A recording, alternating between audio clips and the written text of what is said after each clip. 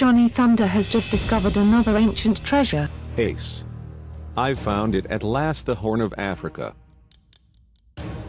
But where Johnny is, can Lord Sinister be far behind? In moments, I will have the horn. And Johnny well, he could use a bat anyway. Freaky. That was close. Quit hanging around, Johnny. Dr. Kilroy needs us in Venice. This was found buried in the back garden of this house, which was once home to the famous explorer Marco Polo. It looks like part of a map, but what do those Chinese characters mean? It's a message from Marco Polo translated it re.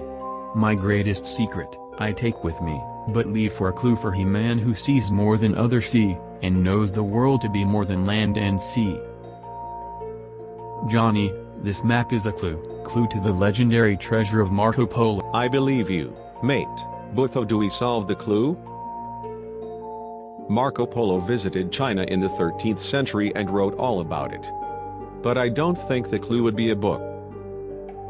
Moo. This map looks like something is missing from it.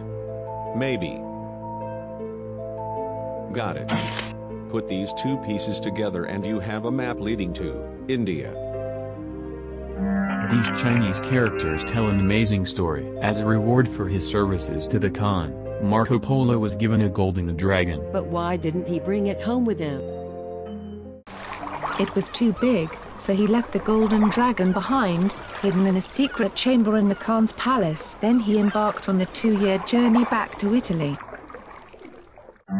The first treasure is hidden in India. The clue says it hides the sting of the jungle. What are we waiting for? What an adventure. I'm coming to an Orient expedition to find Marco Polo's treasure. What a story. Hee hee. I'll be coming too, though Johnny Thunder won't know that. Until it's too late. I've always wanted a golden dragon of my own. Next, Johnny Thunder versus the mysterious Maharaja. Lord Sinister's latest plot. Elephants. Crocodiles. And what is the secret of the Sunstone?